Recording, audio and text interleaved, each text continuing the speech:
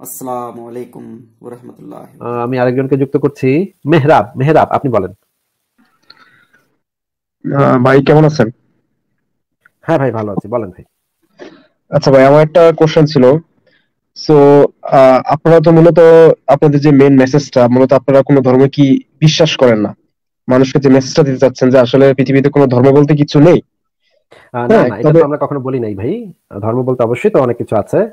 ইসলাম ধর্ম আছে হিন্দু ধর্ম আছে খ্রিস্টান ধর্ম আছে অবশ্যই পৃথিবীতে অনেকগুলো ধর্ম আছে চার হাজার দুইশোটা ধর্ম আছে। আমাদের মেসেজটা হচ্ছে ধর্ম মানুষের ভিতরে ভেদাভেদ সৃষ্টি করে হানাহানি সৃষ্টি করে। এক ধর্মের মানুষ আরেক ধর্মের মানুষকে মনে মনে হলেও ঘৃণা করে। সামনে সামনেও ঘৃণা করে অনেক সময় মনে মনে ঘৃণা করে কিন্তু বাইরে প্রকাশ করে না। এক আচ্ছা, ধর্মের মানুষ আরেক ধর্মের মানুষকে তুচ্ছ তাচ্ছিল্য করে। এক ধর্মের মানুষ আরেক ধর্মের মানুষকে অপবিত্র মনে করে। যেমন আমি আপনাকে একটা উদাহরণ দিই ছোটবেলা আমাদের এলাকায় একটা হিন্দু বাড়ি ছিল। তো আমি তো তাদের বাসায় যেতাম তাদের বাসায় আমাকে খেতে দিত পূজার পূজার লাড্ডু দিত। একদিন আচ্ছা। গেছি খেতে তখন আমি আমি তো মুসলমানের পোলা তারা হচ্ছে হিন্দু তারা হচ্ছে ব্রাহ্মণ। এন্ড সবাইকে খাইতে দিচ্ছে একটা তামার বাটিতে কাঁসার বাটিতে আমাকে খাইতে দিচ্ছে কলা পাতায়। হুম। না আমি তো ভাই ছোট মানুষ আমি তো এত কিছু বুঝি না। তো আমার কাছে মনে হলো সবাই রে সব হিন্দুদের খাইতে দিল বাটিতে আমারে দিল কলা পাতায়। আমার কেন কলা পাতায় দিল? এই জিনিসটা আমার মাথায় কিছুতেই ঢুকতেছে না। আমার তো তখন মানে নিজেকে একটু অপমান লাগছে। ছোট মানুষের তো আত্মসম্মান বোধ বেশি থাকে তাই না ভাই? রাইট রাইট কারণ আমার খুব আত্মসম্মানে লাগল এটা কি? আমাকে কলা পাতায় কেন দিল? পরে বুঝতে পারলাম যে আমি যদি তাদের একটা বাটি স্পর্শ করতাম তাহলে তাদের সেই বাটিটা অপবিত্র হয়ে যেত। সেই বাটিটা তাদের ফালা দিতে হতো সেই বাটিতে তারা খাইতেই পারতো না কখনো। কারণ কি? কারণ হচ্ছে আমি মুসলমানের পোলা আমি হচ্ছে অচ্ছুত। আমার স্পর্শ লাগলে তাদের ধর্ম নাশ হয়ে যাবে। আমি এতই অপবিত্র এতই নোংরা আমি এই কারণে তারা একেবারে নোংরা হয়ে যাবে। আমার আমার গায়ে স্পর্শ করলে বা আমার আমি তাদের বাটি ধরলে নাকি তাদের পুরো ধর্ম নাশ হয়ে যাবে। কি একটা অবস্থা? তখন আমার তো খুব অপমান লাগল এই জিনিসটা। আমি তো ছোট মানুষ আমার তো খুব খারাপ লাগছে। আমি তো ভাই মানে এরপরে আর আমি অনেকদিন যাইনি তাদের বাসায়। খুব গায়ে লাগছে আমার। এটা তো ভাই সম্মান হানি করে তাই না ভাই? রাইট রাইট একইভাবে আমি আবার পরে দেখলাম যে একই জিনিস তো মুসলমানরা করে। মুসলমানরা নানাভাবে এই কাজগুলো করতেছে এই কাজগুলো করতেছে। হিন্দুদেরকে বলতেছে মালাউনের বাচ্চা মালাউন মালাউনের বাচ্চা তারা মূর্তি পূজা করে তারা ভারতে চলে যা। তখন আমি দেখলাম যে আসলে সব ধর্মে তো এই ধর্মের মানুষ এই ধর্মকে ঘৃণা করছে ওই ধর্মের মানুষ এই ধর্মের মানুষকে ঘৃণা করছে। মানে কেন? কারণ হচ্ছে আমাদের ওদের ধর্মগুলো এক না। আবার ইসলাম ধর্মের ভিতরে আবার হানাহানি। শিয়ারা ঘৃণা করে সুন্নিদেরকে সুন্নিরা ঘৃণা করে শিয়াদেরকে। আবার শিয়া সুনি দুজনই ঘৃণা করে কাদিয়ানিদেরকে। তাই না ভাই? মানে এক এক এক একটা একটা হলো আহলে হাদিস একটা হলো আহলে কোরআন একটা হলো হানাফি একটা হলো হাম্বলি একটা হলো মালিকি একটা হলো শাফি চার মাঝাবের চার চারটা মারামারি তার ভিতরে আবার একজনে কয় সালাফি একজনে কয় ওয়াহাবি একজনে কয় একজনে কয় তুমুক একজনে কয় মোহাম্মদের নূরের তৈরি একজনে কয় নূরের তৈরি না আরেকজনে কয় মোহাম্মদের পায়খানা পবিত্র আরেকজনে কয় মোহাম্মদের পায়খানা পবিত্র না। এই নিয়ে মারামারি। হয়। হ্যাঁ দুজন দুই পক্ষ সবাই মারামারি করতেছে এগুলো নিয়ে। কে মোহাম্মদের পায়খানা পবিত্র নাকি মোহাম্মদের পেশাব পবিত্র নাকি মোহাম্মদের পেশাব পবিত্র না? এই নিয়ে দুই পক্ষ মাথা ফাটাফাটি করতেছে। এই কয়েকদিন আগে পেপারে আহ, দুই গ্রামের দুই দল লোক একদল কইছে মোহাম্মদের পায়খানা পবিত্র আর একদল কইছে মোহাম্মদের পায়খানা পবিত্র না। মারামারি করছে তিনজনের মাথা ফাটছে মানে একজন বোধহয় মারাই গেছে। পত্রিকাতে আচ্ছা, দেখলাম ভাই। কিছুদিন আগে দেখলাম যে শিয়া একটা শিয়া পরিবার সৌদি আরবে গেছে হজ করতে। এখন ট্যাক্সি ক্যাবের পিছনে বসছে। ট্যাক্সি ক্যাবের বসে পিছনে বসে সুরা পড়তেছে। এখন ট্যাক্সি ক্যাবের ড্রাইভার তার সন্দেহ হয়েছে। সে পিছন ফিরে জিজ্ঞাসা করছে যে আপনারা কি শিয়া? তখন পিছনে বসা ছিল মহিলা তার ছোট একটা বাচ্চা ছয় বছরের বাচ্চা বাচ্চা ছেলে। আমি জিজ্ঞেস করছি, আপনারা কি শিয়া? তখন মহিলা বলছে হ্যাঁ আমরা তো শিয়া, আমরা ইরান থেকে আসছি হজ করতে। সে করছে কি, ট্যাক্সি ক্যাব থেকে বাইর হয়ে জানলাটা ঘুষি মেরে ভাঙ্গা বাচ্চাটাকে টাইনা বাইর করছে, টাইনা বাইর করে যে জানলার যে কাজটা আছে সেই কাজটার ভিতরে চাপ দিয়ে ধরছে, মাথাটা গেছে ভাই আলাদা হয় বাচ্চাটার। মানে কি ভাই? মানে আপনি চিন্তা, এটা পত্রিকাতে বের হয়েছে, পৃথিবীর অনেক বড় বড় পত্রিকাতে এই জিনিসটা বের হয়েছে। আপনাকে আমি দেখাইতে পারি নিউজ লিঙ্কটা মানে চিন্তা করতে পারেন, একটা বাচ্চা, ছয়, পাঁচ পাঁচ, ছয় বছরের বাচ্চাকে শিয়া এই কারণে ওই সুন্নি ড্রাইভার মানে তাই না মাথাটা বের করে মাথাটা কেটে ফেলছে, মায়ের সামনে তাও। মা পাশে বসা, সে দেখতেছে তার বাচ্চাটাকে, একটা মানে সুন্নি ড্রাইভার সে তার বাচ্চাটাকে তার ওলেট থেকে তাই না মাথাটা কেটে ফেলল, ভাই। মানে কি একটা ব্যাপার, কি একটা ভয়ঙ্কর ব্যাপার, কি একটা অমানবিক ব্যাপার। কারণ কি, এই জিনিসের কারণ কি ভাই? কারণ হচ্ছে শিয়া সুন্নি। শিয়া সুন্নি কি ভাই? মানে কি আপনি কল্পনা করতে পারেন যে ধর্ম মানুষকে কতটা ভয়ঙ্কর বানিয়ে ফেলে যেটার কারণে সামান্য সামান্য বিষয় সামান্য মোহাম্মদের পায়খানা ভাই পবিত্র হইলেই দুনিয়ার কি আসে যায় অপবিত্র হইলেই বা কি আসে যায়। সেটা নিয়ে মাথা ফাটাফাটি করতেছে শিয়া সুনি নিয়ে কামড়াকামড়ি করতেছে বছরের পর বছর ধরে ইরান আর ইরাক যুদ্ধ করছে দশ বছর যুদ্ধ করছে লক্ষ লক্ষ মানুষ মারা গেছে এক পক্ষ শিয়া এক পক্ষ সুন্নি। মানে মেরে ফেলছে। সাদ্দাম হোসেন দশ লক্ষ মানুষ ইয়া দিয়ে মেরে ফেলছে রাসায়নিক অস্ত্র দিয়ে মেরে ফেলছে নিজের দেশের মানুষ শিয়াদেরকে মেরে ফেলছে। কি একটা তামসা ভাই মানে কেন মানুষ মারছে কেন? ইরাক মানে সাদ্দাম হোসেন হচ্ছে সুন্নি আর ইরাকে কিছু শিয়া ছিল শিয়াদেরকে মেরে ফেলছে। রাসায়নিক গ্যাস দিয়ে। ভাই, বাচ্চা কাচ্চা সহ মেরে ফেলছে। ভাই মানে একটা এলাকা সুদ্ধা মানে উড়াই দিচ্ছে রাসায়নিক অস্ত্র মাইরা। সেখানে বাচ্চা কাচ্চা ছিল, সেখানে বুড়া মানুষ ছিল, সেখানে প্রতিবন্ধী মানুষ ছিল। ওমা এগুলা কি ভাই? মানে সারা পৃথিবীতে দেখতেছি যে ধর্ম নিয়ে মানুষ কামড়া করতেছে। ভারতে কি করতেছে? ভারতে গরুর মাংস খাইছে দেখে জয় শ্রীরাম বইলা কোপায় মানে পিটায় মেরা ফেলছে এক- মুসলমানদের। কি কি একটা অবস্থা? ভাই, গরুর মাংস খাইছে, তোর বাপের কি? আমি তোর নিজের পয়সা কিনা খাইছি। তুই এখানে পাকনামি করস কেন? মেরা ফেলছে ভাই। মানে সারা পৃথিবীতে ভাই ধর্ম নিয়ে যে পরিমাণ কামড়া কামড়ি ধর্ম নিয়ে যে পরিমাণ রক্তারক্তি আর তো কিছু নিয়ে এত রক্তারক্তি নেই। হ্যাঁ আপনার কথা ঠিক আছে। তবে এখানে আরেকটা কথাও আছে যে কেউ যদি গাড়ি চালাতে না পারে গাড়ি অ্যাক্সিডেন্ট করে তাহলে তো দোষটা তো গাড়ির না। এটা তো না দোষটা না এমনও হইতে পারে এমনও হইতে পারে গাড়িরই দোষ গাড়িরই সমস্যা গাড়ি বিক্রি করছে আপনার কাছে একটা নষ্ট গাড়ি বিক্রি করছে। এখানে এই জন্য ঢাকাতেও সেই গাড়ি চালাইতে গিয়ে অ্যাক্সিডেন্ট হইতেছে লন্ডনে সেই গাড়ি চালাইতে গিয়ে অ্যাক্সিডেন্ট হইতেছে। মনে করেন এমন একটা গাড়ি কোম্পানি গাড়ি বাইর করছে সেই গাড়িতে মানে ইঞ্জিনের সমস্যা আছে ব্রেক কাজ করে না ঠিক মতো গাড়ি বানাইছে, এমনি গাড়ি বানাইছে। এন্ড দেখতেছেন আপনি ভারতেও সেই গাড়ি অ্যাক্সিডেন্ট করতেছে বেশি, বাংলাদেশে অ্যাক্সিডেন্ট করতেছে বেশি, চীনেও অ্যাক্সিডেন্ট করতেছে বেশি আফ্রিকাতে অ্যাক্সিডেন্ট করতেছে বেশি। তো আপনি তো তখন বুঝবেন যে এই গাড়ির মেকানিজমই তো একটা সমস্যা আছে নিশ্চয়ই। সেই কারণে সব দেশে, ভাই এক কথা ভাই, সব দেশে একরকম ঘটনা ঘটে কেমনে ভাই? সব দেশে একরকম অ্যাক্সিডেন্ট হয় কেমনে? ব্রেক ফেল করে অ্যাক্সিডেন্ট হইতেছে সব দেশে। তখন আপনি বুঝবেন না যে এই গাড়ির তো মানে ম্যাটেরিয়ালি সমস্যা আছে।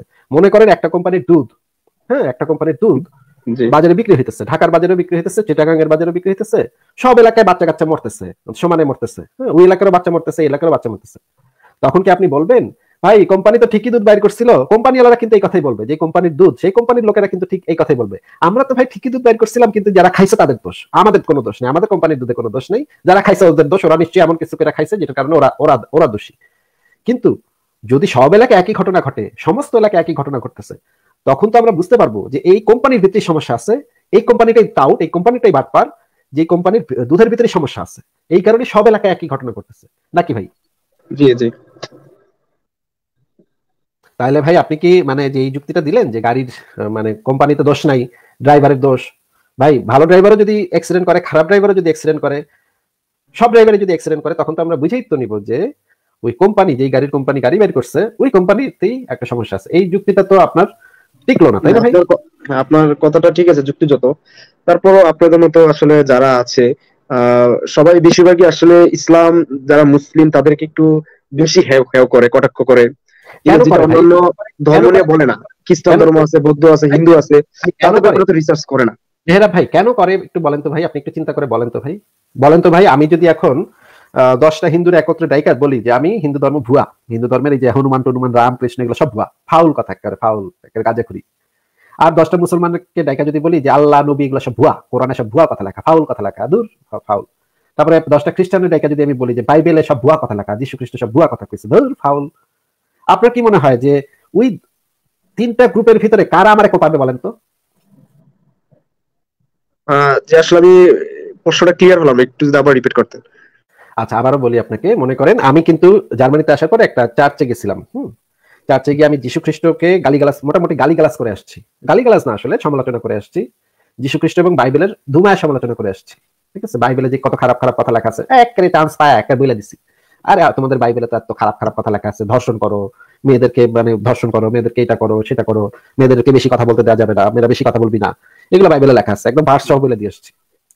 ভাই ওই চার্চে অনেক ধর্মপ্রাণ খ্রিস্টান ছিল। কেউ আমার কোপাইতে চায়নি। ঠিক আছে?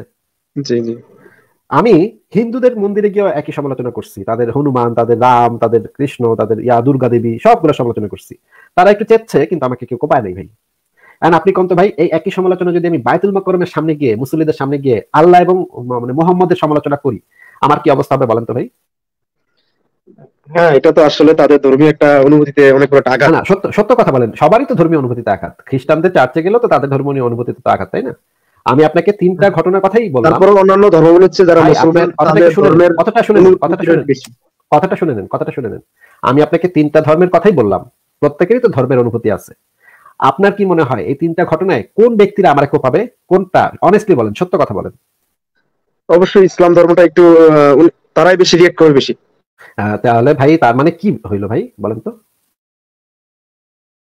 তার মানে হইল যারা মুসলমান তাদের ভিতরে ধর্মান্ধতাটা বেশি তাই না? মৌলবাদিতা ধর্মান্ধতা অন্ধত্ব মানে তারা তারা ধর্ম কোপাকুপি। প্রেমিক আর কি বেশি। কোপাকপি করা বেশি মানে মানে কোপাকপি করার যে টেন্ডেন্সিটা সেটা বেশি। তাহলে ভাই কাদের সমালোচনা করাটা বেশি জরুরি? ঠিক আছে তারপরও আসলে এটা কথা বলি আপনাকে আরেকটা কথা আপনাকে বলি যে হিন্দু ধর্মের তো সংস্কার হয়েছে তাই না ভাই? জি। এই যে যেমন ধরেন রাজা রামমোহন রায় ঈশ্বরচন্দ্র বিদ্যাসাগর এরা তো হিন্দু ধর্মের অনেক সংস্কার করছে এটা তো জানেন আপনি তাই না ভাই? জি জি। তারপরে হচ্ছে গিয়ে Martin Luther junior Martin Luther যিনি ছিলেন জার্মান মার্টিন লুথার যিনি ছিলেন এবং আমেরিকান মার্টিন লুথার ওনারা যেটার কথাই আমি বলতে আমি জার্মান মার্টিন লুথারের কথা বলতেছি। উনি তো খ্রিস্টান ধর্মের একটা সংস্কার করে ফেলছেন যেটাকে এখন আমরা বলি প্রোটেস্ট্যান্ট খ্রিস্টান তাদেরকে বলি তাই না ভাই? জি। তো খ্রিস্টান ধর্মের তো সংস্কার হয়েছে তাই না? জি। কিন্তু কোরআন বা ইসলামের কি কোনো সংস্কার হয়েছে এখন পর্যন্ত?